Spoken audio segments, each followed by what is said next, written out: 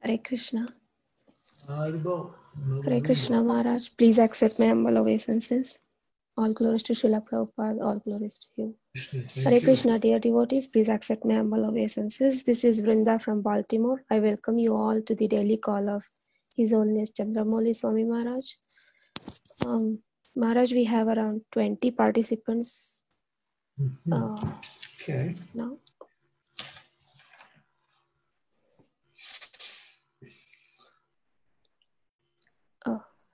Okay, I'll begin and you can uh, bring up one verse. okay. Uh, first canto, first chapter, verse number 14.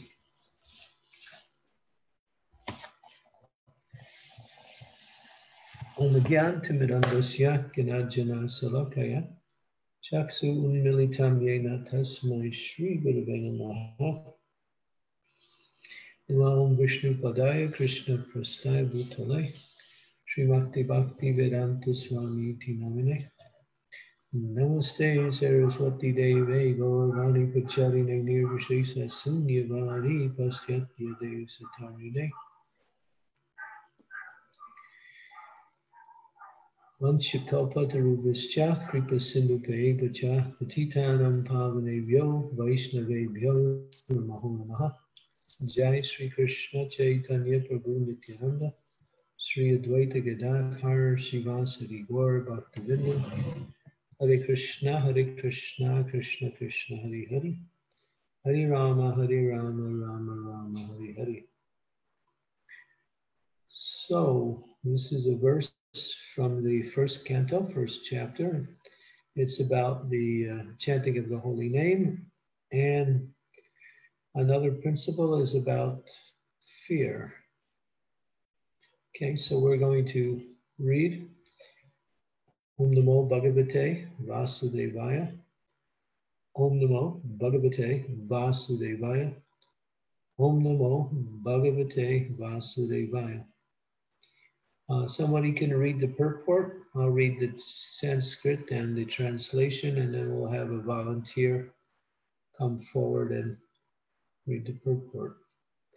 Apanam samsritim godam dhyanamam vishvasogranam tata sadyo vimucheta yabibeti swayambhayam. Living beings who are entangled in the complicated meshes of birth and death can be freed immediately by even unconsciously chanting the holy name of Krishna which is feared by fear personified. Someone read a short purport.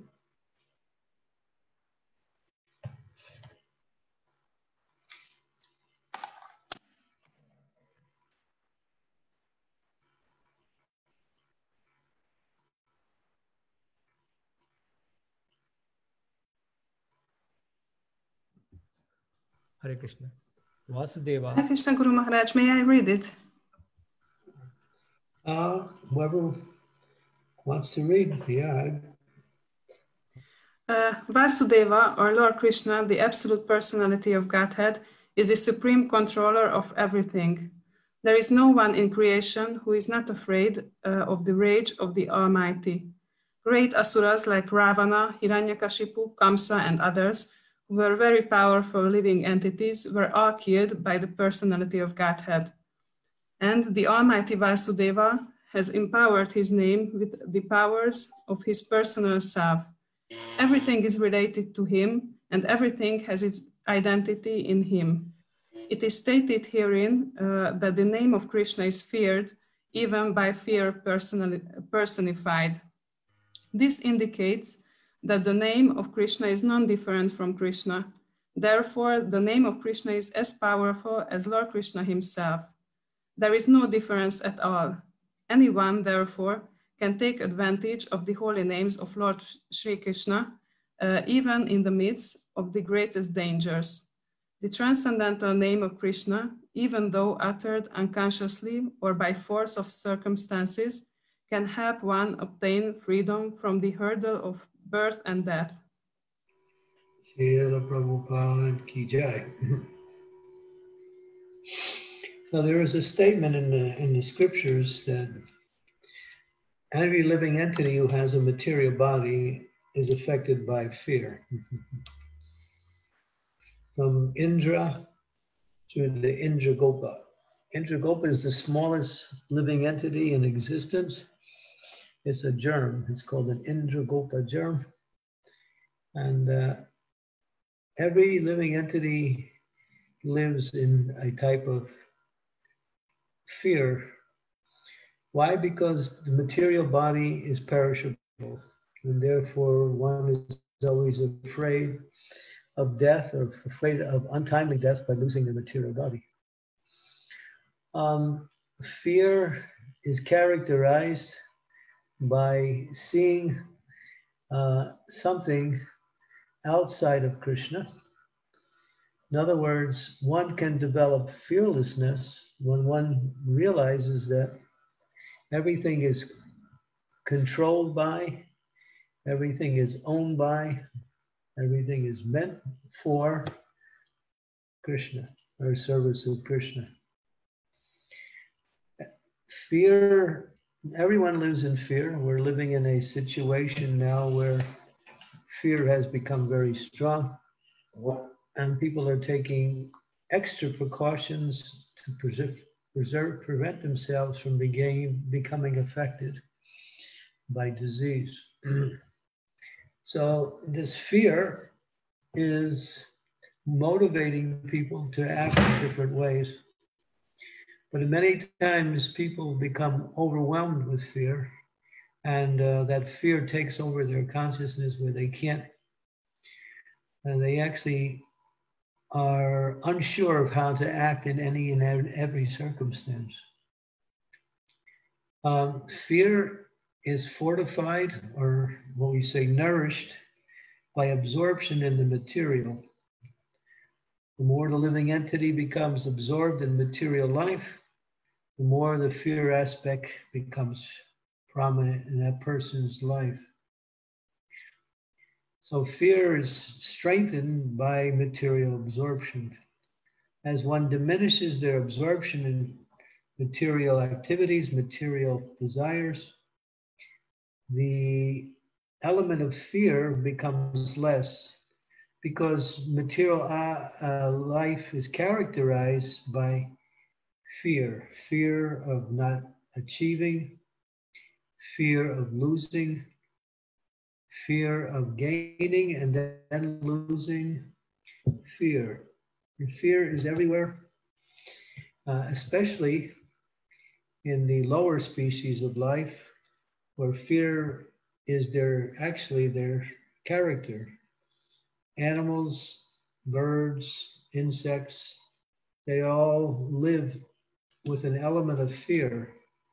And that element of fear protects them from being destroyed. But mm, out of all the animals, the fish is the is the animal that is feared the most fearful. The fish always lives in fear at every moment, afraid to be eaten by a bigger fish. Mm-hmm. That's the way it is in the waters. One fish eats another fish. So yeah, so fear is everywhere. Fear and fear, as we mentioned, means two or the number two, which indicates that that everything in existence is coming by way of Krishna's energy, and Krishna's energy is under his control. So when people don't see that, or don't recognize it, or don't understand it, or don't realize it, they uh, become fearful. Oh, what will happen? Do devotees also experience fear? Yes. But there's a kind of fear that is called healthy fear. There's a healthy fear, the fear of becoming, uh, uh be, being fearful of falling into the material energy and being trapped by that material energy. That's called a healthy fear of Maya, which helps the devotees to stay free from the entrapments of the material energy. But in general, the element of fear is everywhere. And uh, the whole idea of countries building up their armament supplies is basing on, on the fear principle eating, sleeping, mating, and fearing. Defending is an, is an element of fearing. So, countries, you'll find that most countries, especially the more advanced countries, materially, they put a lot of time, energy into and resources into building up armaments. Why? Because they want to create this balance of fear that if I'm bigger, then you won't attack me. But that doesn't work. It's just a false sense of security. But this is what, how people think. People, you'll see people, one of the biggest uh, uh, industries is making locks. People have locks for doors, locks for safes, locks for uh, everything. There's everything has a lock nowadays. Uh, people are afraid that, that someone's going to steal their car, something in their house, locks. So this fear principle is very, very strong. But here, this verse is very that fear itself, in its most personified aspect of itself, also becomes fearful of those who chant the holy names of the Lord, because the holy name can, these, the fear cannot affect one or touch one who is absorbed in chanting the holy name. Therefore, chanting the holy names of the Lord brings about fearlessness. One of the main qualities of a Vaishnav is to become fearless in despite of all the elements around us that, cause, that can cause us fear. So by chanting the holy names of the Lord, one develops this mood of fearlessness. Why? Because one is connecting to Krishna. And as this verse says, then Krishna is feared by fear personified. In another place within the Srimad Bhagavatam, in the third canto, it says, The, the wind blows out of fear of me. Uh, death takes its toll out of fear of me. Uh, so mm, different elements within the material energy uh, are characterized by their duties to the Lord because of fear. Fearing that if they don't do their duty, the Lord will take them to task. In other words, they'll get punished.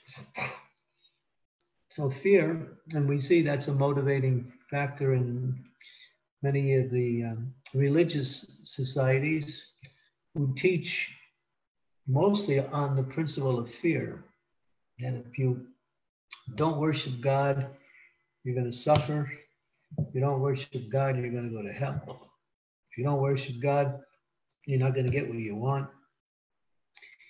In other words, they create this fear principle in the mood of worship, which is the lowest form of approaching the Lord. Devotees approach the Lord not out of fear, but out of love. Approaching the Lord out of love destroys the, the element of fear automatically. And the devotees don't fear the Lord, they love the Lord. And they know the Lord is their best friend. He's always their well wisher. He's always there to help them in any possible way. But for the materialist, the Lord is someone who interferes with their sense gratification. That becomes an obstacle in, for their plans for enjoyment. Who is a person that will make life difficult for them if they don't worship Him. So they have this fear of the Lord. And based on that fear, they are in anxiety in everything they do. Anxiety and fear are like two close twin brothers, practically. Once you have fear, you have anxiety. Once you have anxiety, you have fear. So here is the remedy chant the holy names of the Lord by being absorbed in the holy name of the Lord. One can push away even the greatest type of fear. As it's explained in the sixth chapter of Bhagavad Gita. When one is fixed on the spiritual platform, they're not even moved by the greatest danger. In other words, they are completely uh, transcendental to the sufferings of this world and the potential and the because they know Rake Krishna Modike, Mori Krishna Rakeke. If Krishna wants to destroy, no one can save. If Krishna wants to save, no one can destroy. And that's a fact. So if we take shelter of Krishna, one of the features of Krishna's relationship with his devotee in the form of Lord Nrsingadev, he protects his devotee. And knowing that the Lord gives full protection, one develops fearlessness. And fearlessness relieves the burden of anxiety which comes by living in a world that is characterized by fear. Everyone is fearful. And especially at the particular, this particular time in history now, all the news is all about creating fear in the minds of people by describing what is the world situation. Of course, they only tell you about the things that are considered to be things that are cause fear and anxiety like that. They don't speak about the glories of the Lord. If they spoke about the glories of the Lord in the news, then people would be free from fear. And then people would read the news and get something from it. So, this chanting of the holy name is the benediction uh, in age. Enhc Asadi Maya, Nasi Baralagi, Harinama Mahamantra, Tuvi Lagi. Chant the holy names of the Lord. It is the medicine, the panacea for all ills in this world, especially the element of fear as Krishna describes in the Bhagavad Gita. Fearlessness comes from me as the holy name is coming from Krishna through his mercy manifestation. Then, the same way, the elements that, that are byproducts of the holy name, such as love, fearlessness, happiness, charitable nature, all these good qualities are products of chanting the holy names of the Lord. So, one who is fearless or free from fear, fearless doesn't mean foolish. Some people give this macho definition of fearlessness that one should, you know, present himself as being uh, very powerful in all aspects of life and that way ready to take on any situation that comes. That is not real fearlessness. Real fearlessness means to depend on Krishna in any situation.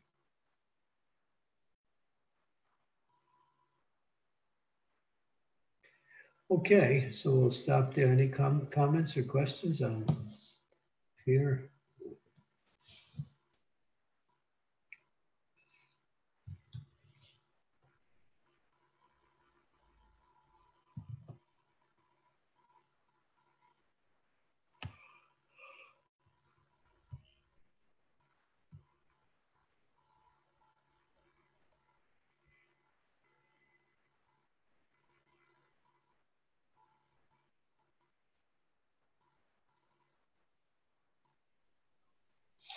Just recently, we had a major earthquake in this area of Croatia. I'm in Slovenia, but I'm 120 miles away, and the quake was so big I was able to feel it where I was.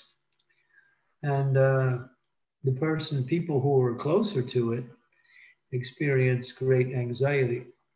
So much so that the aftermath is that many devotees who are living in that area are constantly being harassed by continual tremors within the earth. Something between 80 and 100 more earthquakes have come since the big one on a smaller level. try to imagine living in that situation where at any moment you feel this shaking going on and you don't know how severe it's going to be. So this is the material world. The material world will automatically cause us fear. But the solution is take shelter of the holy name of Krishna. And by the mercy of Krishna coming through his holy name, one can transcend the elements of fear and be fixed in what we say pure consciousness, or that consciousness that's not disturbed by what goes on around.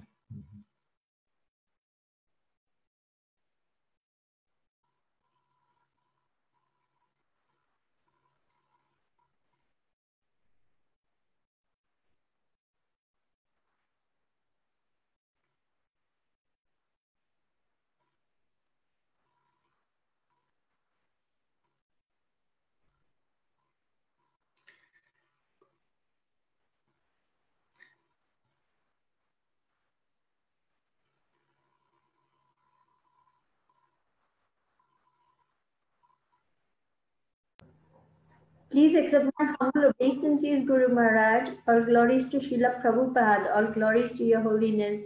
Thank you for choosing this verse to speak on. Um, I'm just uh, mulling over what Your Holiness explained about fear and the anxiety that is so pervasive everywhere.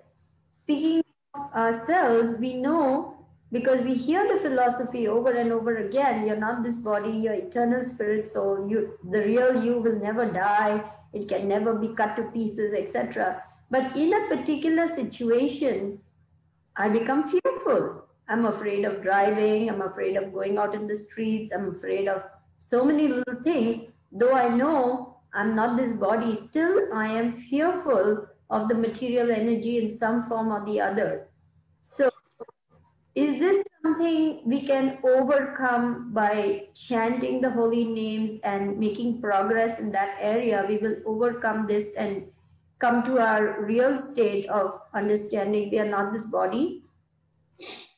Yeah, you go about your normal duties and keep Krishna foremost.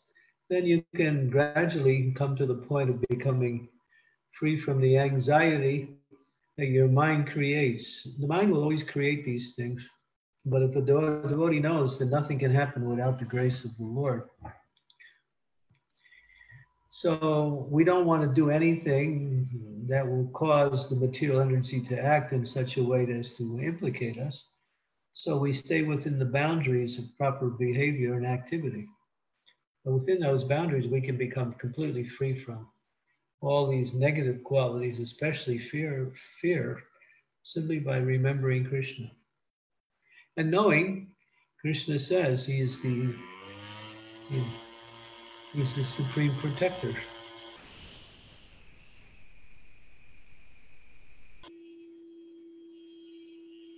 If we don't have that faith, then we'll be affected by our responsibilities in this world.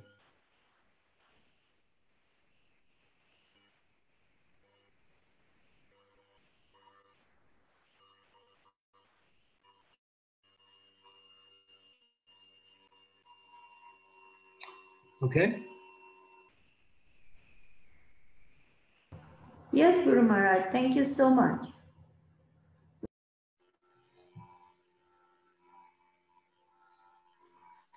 Hare Krishna Guru Maharaj, please accept my humble obeisances. All glories to Srila Prabhupada and all glories to you.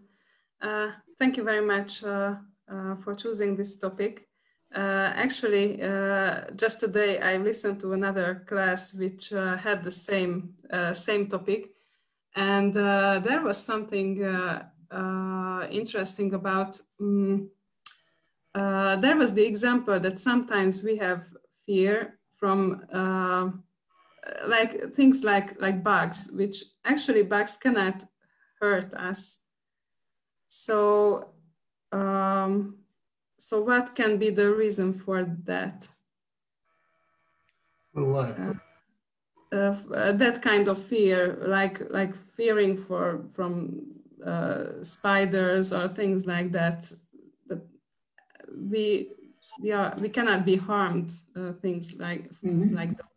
There, there's yogis that live in the jungles. They live with lepers, tigers, insects that are deadly, but they're free from that because they're free from fear.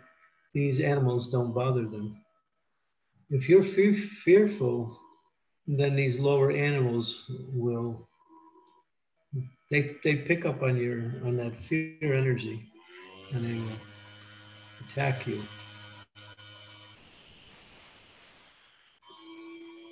So, yeah. Just like if you're fearful and you're in a range of a dog, the dog will pick up that energy and start barking really loud. Mm. Uh, because these animals, they can sense, they have a higher sense senses than we do of the energies. They don't know, they don't understand it, but they can, they experience disturbance and therefore they react. So, um, what to do is prevent prevent yourself from getting victimized, but at the same time, you know, stay close to. The answer is to chant the holy names of the Lord and to stay connected with Krishna.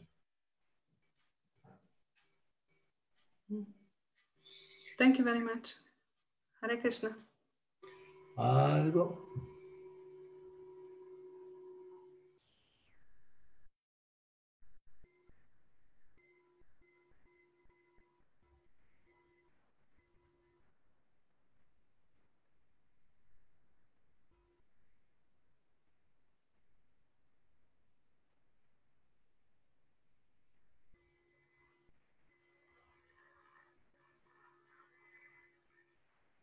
Anyone else? As a follow-up question, Guru Maharaj, I want to ask this. If we are not completely on the pure platform, we have not reached a high level of consciousness, but just say for some reason, you know, we come across a situation, we are in an accident and we are giving up our body, then will Krishna's grace help us to remember him, even though we may not have reached that platform of complete uh, fearlessness or purity or um, transcendence? Yeah, of course. Everything it depends on the mercy of the Lord, but one has to live in such a way as to bring the mercy of the Lord into their life. But devotees are generally protected by the Lord, even if they don't ask for it.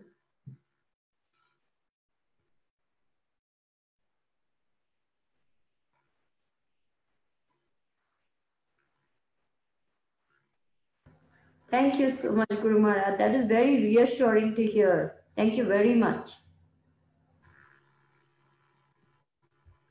Hare Krishna Guru Maharaj, please accept my humble obeisances. All glories to Srila Prabhupada, all glories to you. Yeah, glories Prabhupada, Hare Krishna.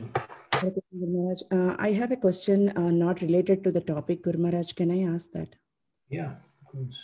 Um, so as we were reading Chaitanya Charitamrita, I got it out that um, there it is mentioned like um, uh, Lord, Lord Vishnu, uh, Lord Shiva and Lord Brahma are the directors of the three modes of material nature. So um, I, I was just wondering like um, some, um, so how uh, they are not, so I just want to confirm with you that they are not influenced like uh, uh, whenever we say that uh, the Lord Vishnu is related to good mode of goodness and Lord Brahma is related to mode of passion, like that. So can we understand that they are not uh, affected by those material modes, Guru Maharaj?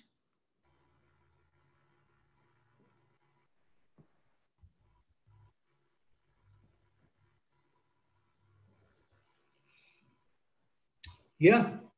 Mhm, Well, it says because Brahma has to touch the mode of passion for creation, sometimes he gets affected by that.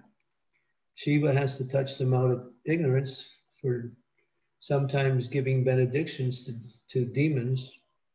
He also becomes affected by that. Lord Vishnu was never affected. He's always in the transcendental position. Therefore, he's in charge of the mode of goodness. But these great controllers, you know, can also sometimes exhibit material um, inebrities, where Brahma chased after his daughter.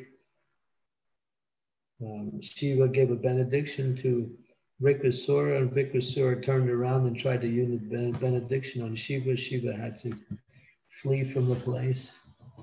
So you see these great controllers because they have to touch this material energy in order to do their service to the Lord. They sometimes become affected by that. Okay, so um, so Guru Maharaj, um, this Lord Brahma um, has kidnapped the cowherd boys and the cows and everything um, in the in the Vrindavana. And can we uh, relate that pastime to uh, to this concept, Guru Maharaj? Um, yeah, yeah. Brahma became bewildered. Okay. That's how it's called the he got Brahma, Brahma Mohan Lila. How he became bewildered. He didn't recognize that this cowherd boy was the supreme worshipful Lord. He thought he was just some powerful demigod, and he misunderstood Krishna. Therefore, he wanted to test this person who killed this very powerful demon named Aghasura. So, trying to test Krishna, you know, what was his reason for testing Krishna? Because he thought he was more powerful. But Krishna showed your power is nothing compared to mine. So that means uh, we can think that uh, Lord Brahma came under the um, influence of mode of passion. Yeah. yeah. Hmm. Obviously, he became. Well, yeah. There's there's a controversy. Some people who are followers of Lord Brahma, who worship Lord Brahma, don't accept this lila. They say he cannot be, but this lila indicates he can because Krishna is so powerful, he can bewilder anyone. Even when he performed that Brahma Mohan Lila, even Lord, even Lord Balaram, who was personally present there, at one point became couldn't understand what was happening when he saw how Krishna expanded himself into uh, so many calves and cowherd boys, and how they were being, how they were reacting he was thinking, what is this? Is this a mystic yoga, a yogi that's come? Finally, he understood it was Krishna, but initially, so even Lord, even Lord Brahma and uh, Lord Balaram appeared to be bewildered by Lord Krishna. Krishna's power is supreme; it's above everyone. Mm, yes, Guru Maharaj. Yeah. Thank you so much, Guru Maharaj. Thank you. There is a class of people that don't accept this pastime, although they're Vaishnavas. there are Vaishnavas, but they don't accept that Brahma can be bewildered.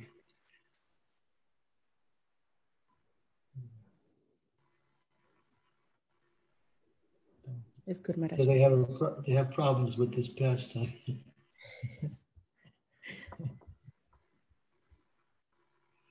But our acharyas cleared up that Krishna can bewilder anyone at any time. He did it with Lord Shiva when he transformed himself into this beautiful Mohini Murti. Lord Shiva went mad and started chasing after this female form who was actually the Supreme Lord. So even Shiva became bewildered. Shiva's He's Dhira. He's the, one of the most Dhira of all living beings, sober. But he was bewildered by Krishna.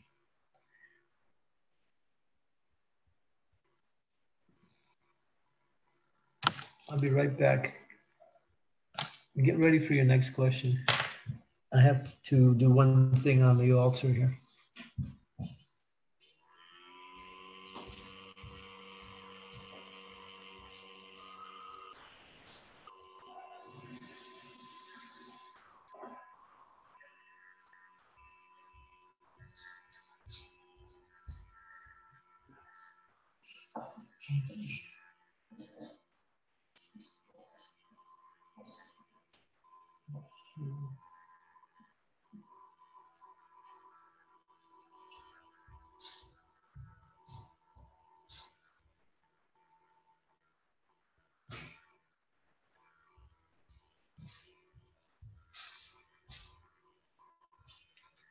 Okay. Uh, Hare Krishna Maharaj, please accept my humble obeisances. Maharaj, there is a question uh, on the chat from Janva Mataji. She's asking, uh, Hare Krishna, please accept my humble obeisances. All glories to Srila Prabhupada. I have a question on renunciation of the sins. Does it not produce karma?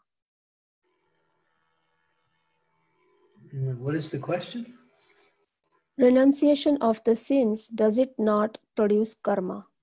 What is what, what does it mean, renunciation of the sins? What does that mean? Ah, I'm not sure, Maharaj. Uh, Janava Mataji, are you there on the call? I mean, would you like to explain?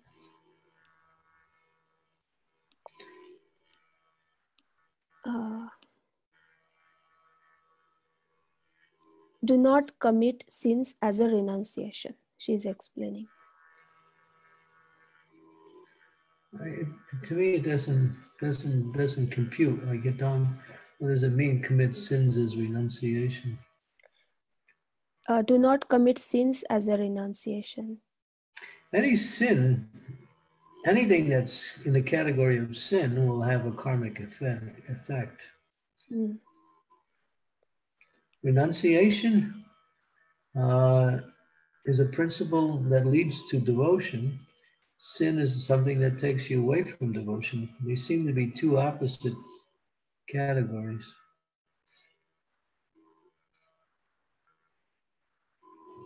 Okay. Anything material has karmic karmic effects. Whatever one does within the within the realm of the material energy, there is a reaction to that, and that's called karma. Whether it's good, bad, or a mixture of good and bad, like that. Only devotional service is free from karma. Okay.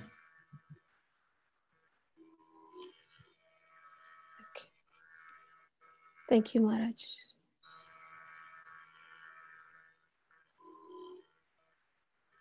What's this one here? Does anyone have Maharaj's book on Chaitanya Charitamrita? Which book is that you're referring to? You mean my uh, compilation on uh, the PowerPoint, Power, Power, PowerPoint presentation of the points within? Yeah. Hare Krishna, Hare Krishna Maharaj, please accept my humble obeisances. All glories to Srila Prabhupada. All glories to you, Your Holiness. Uh, Maharaj, I was, uh, um, I referred to your uh, website and there I saw one, I think it's a, comp- uh, I'm not sure it's a compilation or a book, but it's titled Sri Chaitanya Charitamrita, um, Chaitanya Revisited. Charitamrita Revisited. Yes. Yeah. That is Yeah, the one that- I was. I Yeah, was- that's that's that's it's about 110 pages and it's a PowerPoint presentation on the different topics within the uh, Chaitanya Charitamrita. It's a good reference if you want to look up anything in Chaitanya Charitamrita. You could go to this and find it easy. Uh, is there a hot copy, Maharaj, or it is or a downloadable? Everything is this is uh, this is done through the through the media. I could send it to you if you want. If you just leave your email address, or I can send it to one devotee who could distribute it to anyone who wants it. Oh, If thank you, thank you so much, Maharaj. That'd be really. Yeah, it's it's quite helpful. I got some some good uh, good uh, feedback from senior devotees about it. So, um, like, um, is there anyone out there would like to receive it and then distribute it to whoever wants it?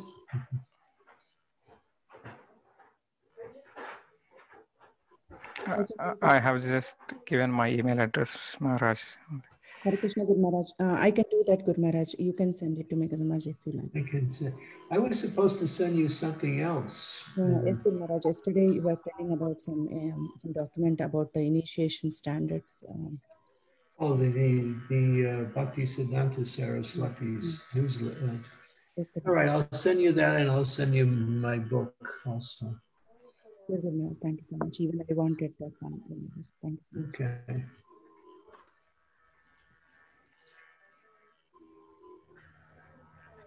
So Um, anybody who wants, anybody who wants a copy of it, just contact Mother Lavanya and she can post her email address and she'll send you the book or the uh, article that we talked about yesterday by Bhakti Siddhanta on initiation.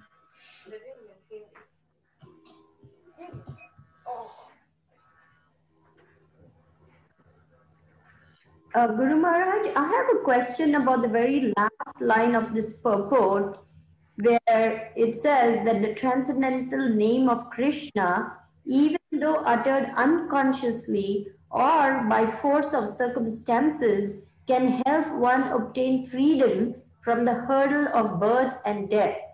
Just take it as it is. What, what do you, what's the problem?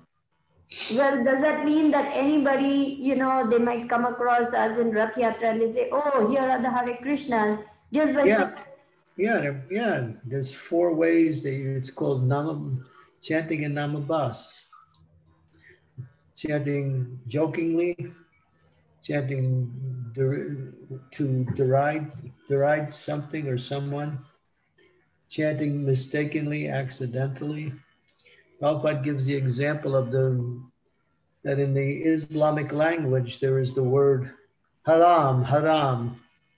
Haram means abominable. So when one Muslim was being attacked by a boar, and he, he chanted haram, haram, haram, so that H A R A M was in the word, which is Hari Ram. So he got liberation. Hmm. That's the power of the holy name, yeah. So somehow or the other, just getting people to chant the name of Krishna is the best thing we can do for them. Jai. Now you understood everything. By your mercy, Guru Maharaj. Thank you. It's easy to understand. Everybody can understand. We just don't. We just don't have enough faith. That's all. That's the problem. We need to increase our faith in the chanting.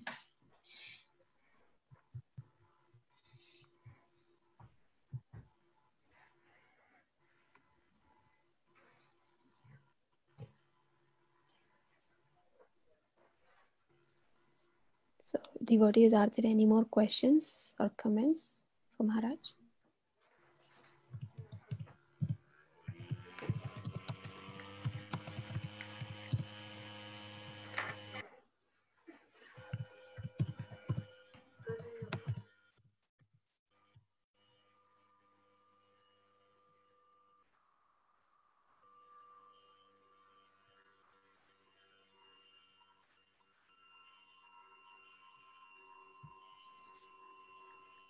Okay. Uh, so, Maharaj, with your permission, shall we end the call here? Yeah, we can if you like. Uh, I think there are no more questions or comments. Okay. Let's see. All right, we can stop here. Let me see. Mhm. I'm looking for that book, Chaitanya Charitamrita Revisited. Okay.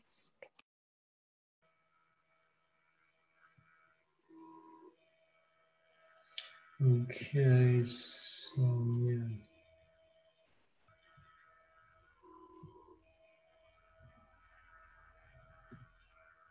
Okay.